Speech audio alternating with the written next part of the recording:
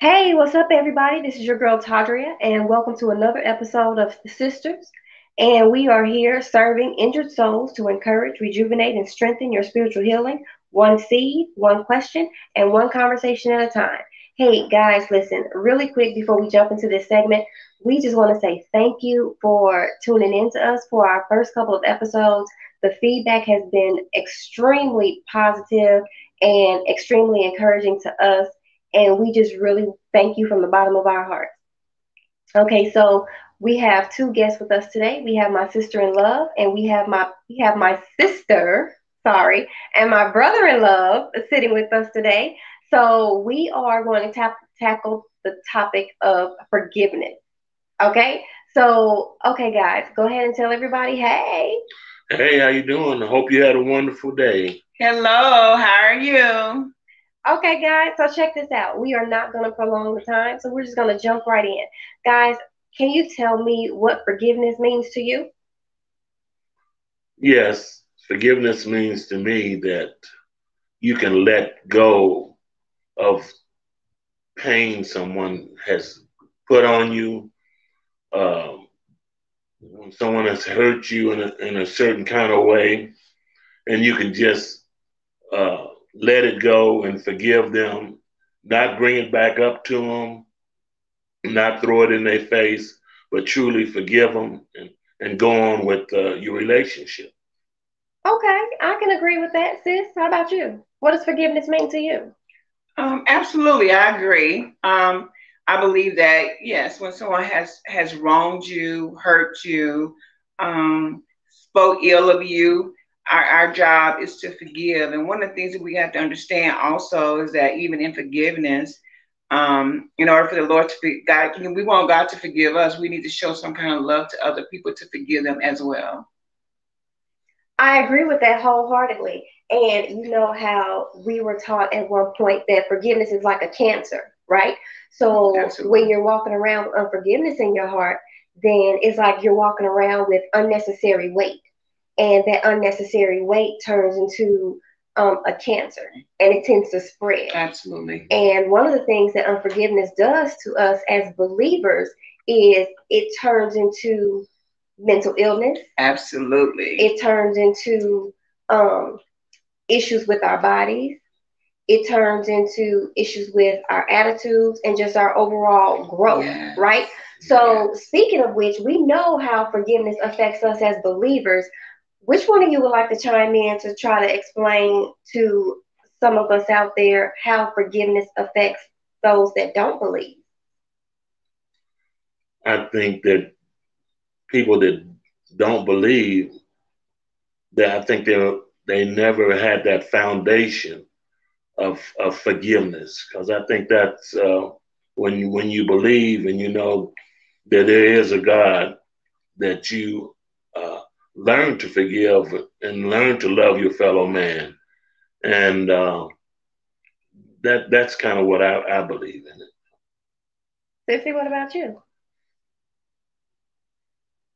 I agree. I think that um, ones that are not um, believers, it is very important that we are to to give them space because unbelievers a little bit is way different than Christian. So we still have to have a, a level of understanding in their behalf because Ooh. they are unbelievers.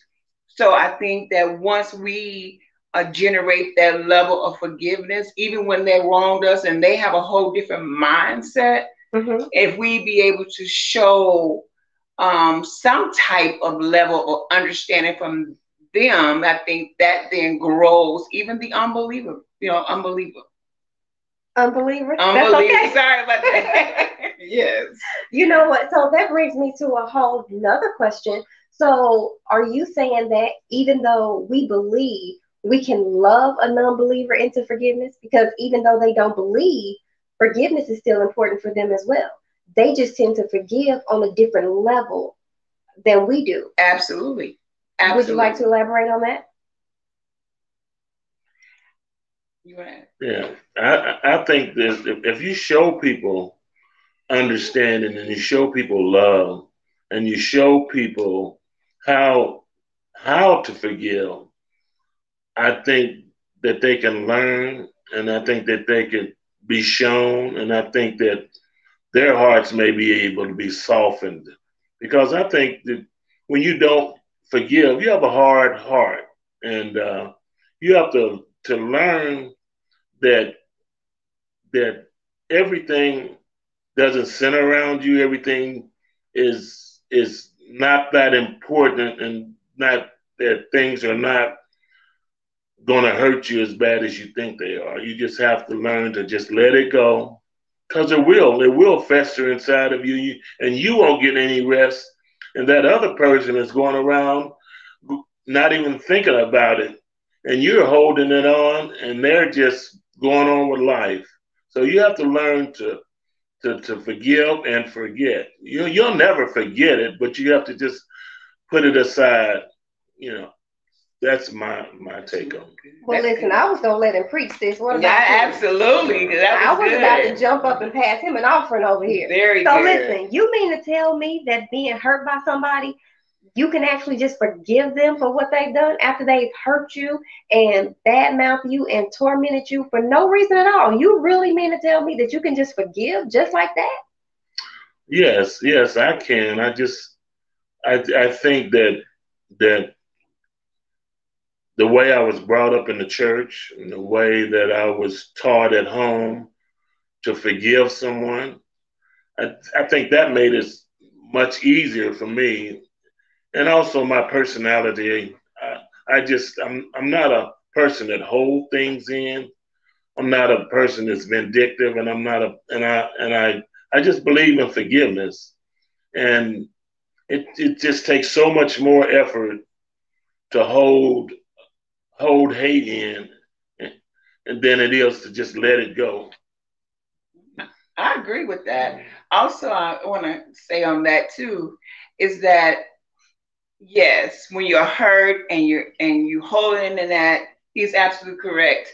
You end up, you know, they going on and and you suffering. But listen, also you got to realize is that it may not just be words that somebody has done to you. It could be Mm. something physical that someone has done to you. And yes, physical is a little bit more different than words, although words are hurtful. But even when it comes to physical, we still have to have a level of forgiveness. Come on. Now, do it hurt worse? So that depends on the circumstances because not only is it hurting you, but it becomes to hurt your family, your children, whomever. But guess what? We still have to somehow get into that frame of mind that if we're going to live and conquer right, we have, from a Christian's perspective, we have to forgive. From an unbeliever perspective, it's just going to have to be that we understand and understand them. Do we understand them from a point of, um, well, I've been there and I know, but sometimes it's more than I've been there and I know. Sometimes that hurt for unbelievers is not the same as for us. So we have to be able to have patience Come on. with them. And then somebody may say, Well, what you mean patience? I've been hurt so many times. I'm not gonna have patience anymore. Well, from an unbeliever standpoint, they have a whole different mindset again, as we said earlier in the program. But we just have to be able to trust, trust that we can kind of win them over from that perspective of not forgiving. Okay, I agree with that wholeheartedly. And you know, it's amazing and how things would get twisted around because I had a whole different set of questions for you. But now this brings me, do you remember the book that I cannot remember the author and forgive me, I will come back and, and put it in the description later when I remember what it is. So I apologize for that, guys. But do you remember the movie The Shack? Oh, I do remember the movie The Shack. We love the movie The Shack. Yes. Okay, so speaking of the movie The Shack, hmm The Shack was basically a movie about forgiveness. Absolutely. It was a book about forgiveness, Forgiveness. Yes. right? And when it came to a certain part of the movie, the author showed in the movie that just because you're my child, you have to remember that my child also hurt you. Yes. So, as a parent, as a father, yes. I have to forgive and I have to love you both. Yes. I can't love one of you more than I love the other of you because one of you hurt the other. I have to love you both the same. Right? Absolutely. So there came a point when the main character in the shack had to make a choice. Mm-hmm. Right? Right. So he had to make a choice to either forgive right. or not to forgive. Absolutely. Forgiveness took him back to his family. mm-hmm. Unforgiveness, they never showed where that was going to take went. him. But he lived a life of pain because he held unforgiveness in his heart, right? So let's look at it from this perspective. If the main character in the shack was not a believer, do you believe, and this is just strictly your opinion, do you believe that had he not been a believer, because if you think about it, he was on the verge of no longer believing. Absolutely. He was on the verge of no longer being able to trust God because his daughter, his baby girl, had been kidnapped Mhm. and molested Yes. by another one of God's children, right? yes. So in the movie, when it all came back around, Mhm. It showed where God was his mother, Mhm. God was his friend, Oh, yes. yes. God was his father, Yes. and God was his priest. Yes. And all four elements of God, right? Mhm. At that point. All right. Good. gave him a choice Yes. To forgive. Yes. So as an unbeliever, Mhm. somebody on the verge of no longer believing, Mm. being faced with one of God's children, right? Right. Doing harm to them, Mhm. doing harm to somebody they love, and then standing at the gate saying, Now can you forgive me? Mhm. As an unbeliever, what does that say? that says a whole lot. Um, and when I say it says a whole lot from an unbeliever perspective, as what we're talking about, that could be a hard thing to do. But when you are really ready to change, and you see, even though you see that person that has done that, which was a shack, you know, that's that's difficult. But can it be done? Absolutely. It can be done. How do you get there? Well, it takes a lot. Okay, so I think first of all, it's going to take faith.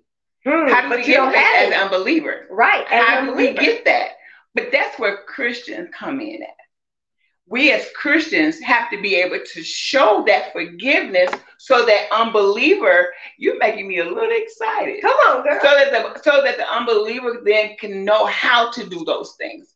They won't be able to know if they can't see what we supposed to be doing as Christian. As my husband has said it before, it's how you raise and how that foundation is, and then then we have to be able to have that same compassion so that that unbeliever can can just know who God is just Mm. by that forgiveness. Because something that unbeliever would do to you, can you as a Christian really forgive? Come on. And so you have to be able to show that instead of always talking it. You have to show it. Hmm. My, my, my, my. Listen, I'm getting excited over here. Okay, so, bro, tell me this. Did you have to overcome anything to learn or to teach yourself to forgive? Uh, yes, I think I think people have lots of things in life that that set of, uh, in front of them that they have to learn to forgive. You have to live, learn to forgive coworkers, brothers and sisters, mothers and fathers. No, it's a lot of things that happen to people in life that if you if you don't forgive and you hold on to it, it's like we said, it's a cancer.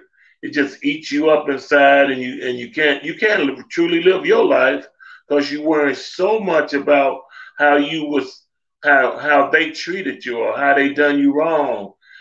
You, you can't even go on with life. You just you hurting all the time and and and that's no good. That's no good. You have to let go of it you know. It's not easy it's not easy to let go but you have to you have to constantly pray about it.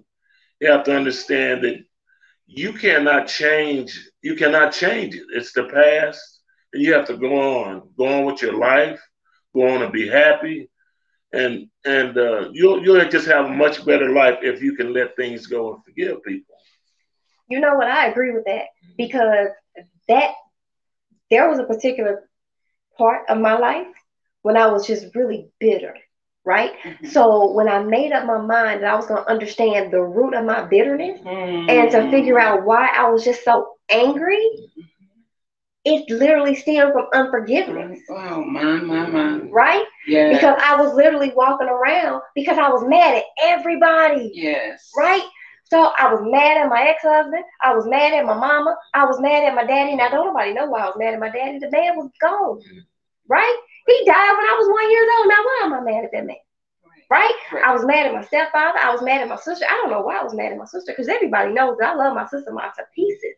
Right. right. So I don't know. I was mad at her. I was mad at the world. My money wasn't right. My attitude wasn't right. My mm-hmm. mouth wasn't right. Mm-hmm. I just wasn't right.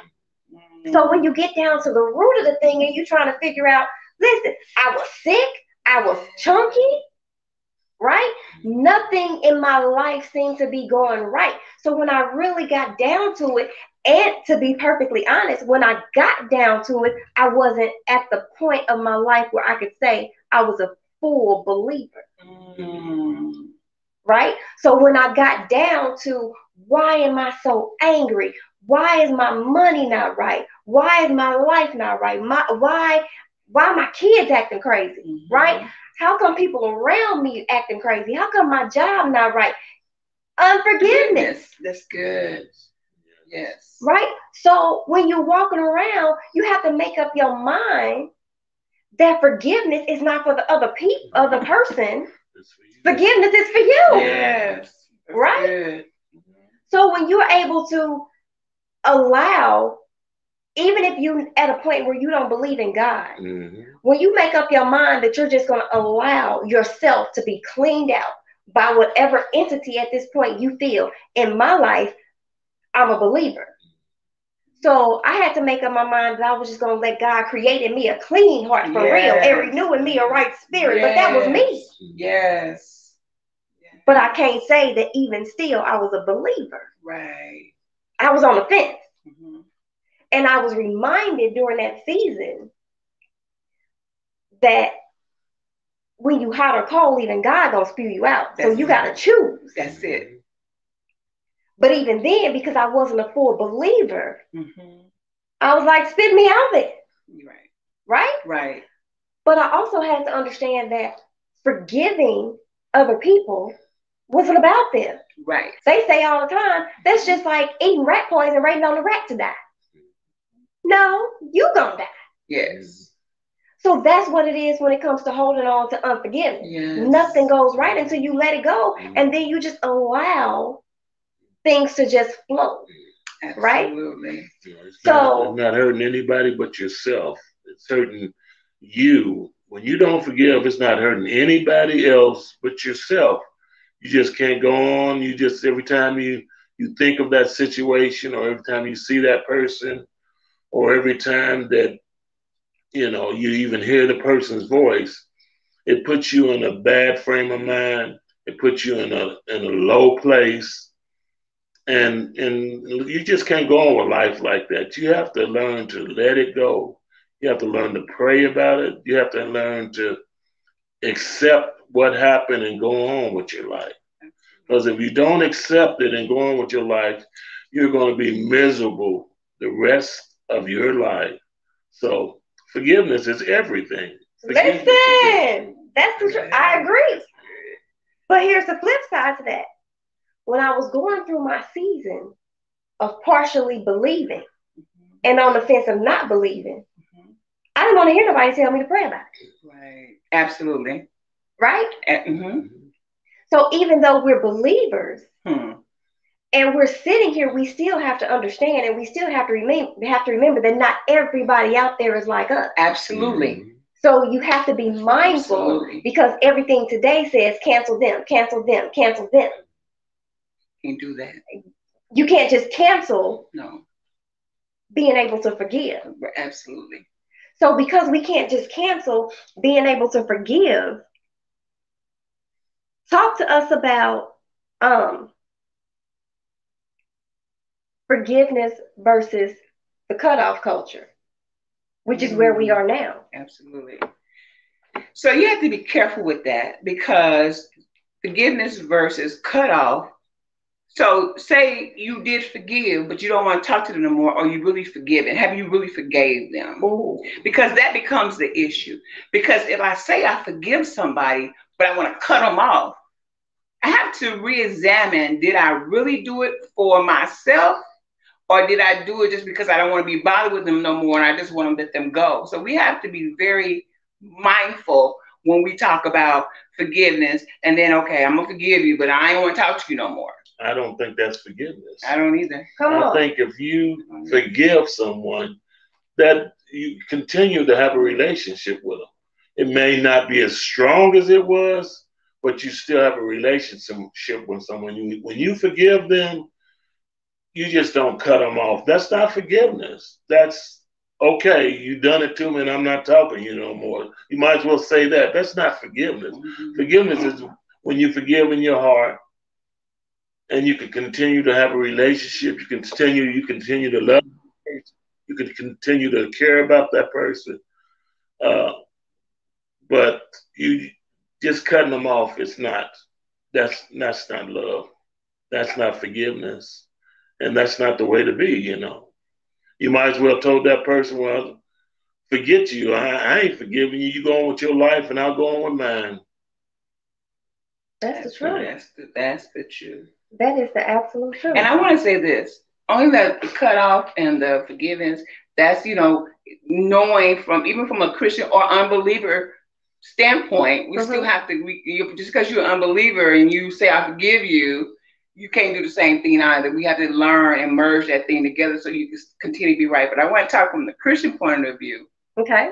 We at church and we giving our tithes, we giving our offering, and you have unforgiveness or bitterness in your heart. You might as well keep. you might as well not even give it. Yeah. I think it's very important that we understand that we don't give our tithes and our offering. I don't know why I'm going here, but we don't give our tithes and our offering predicated on anything other than giving it to Christ. But just like if you have something in your heart and you're giving your tithes, the Bible says keep it. Is it not what it says? That's what it says. So even when it comes to forgiveness, how can you give something to the Lord and you have unforgiveness for somebody else? Hmm. How is that possible? It's not. I don't know why I went there, but I know exactly why you went there. yeah. So it's almost like, um, if you're gonna do something for me, when it comes to an, an unbeliever, hmm if you see me and I'm sitting on the side of the road and I'm hungry, right, Mhm. and you buy me a meal, if you're not buying me a meal from the bottom of your heart, keep it. That's right.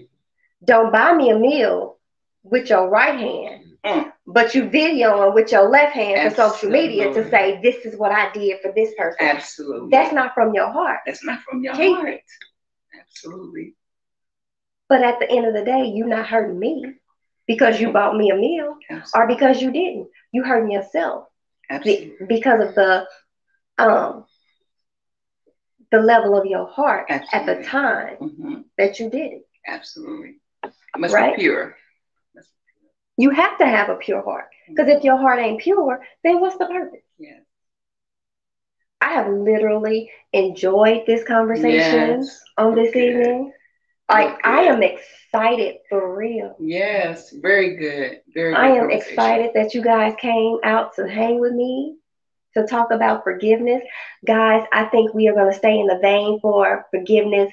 We have a lot of um, information to give you. We have a lot of discussions to have when it comes to forgiveness because there's a lot of people today that's dealing with different levels of forgiveness Yes. and being able to forgive. And you may hear somebody in the next couple of episodes come up that is struggling to forgive because of some of the things that they have going on in their own lives right now. So just be on the lookout for some of the new episodes that's coming out. And y'all, guess what? I am so sisterly proud of my brother right here. Y'all got to understand, he does not talk no, he does not. He nods his head when you ask him a question. And don't ask him a question that's going to take more than five words because you may not get an answer. So when I tell you I am honored that he has taken the time to conversate with me, especially about something as confrontational as forgiveness, Yes. I am so honored to be sitting here with him and having this conversation right now.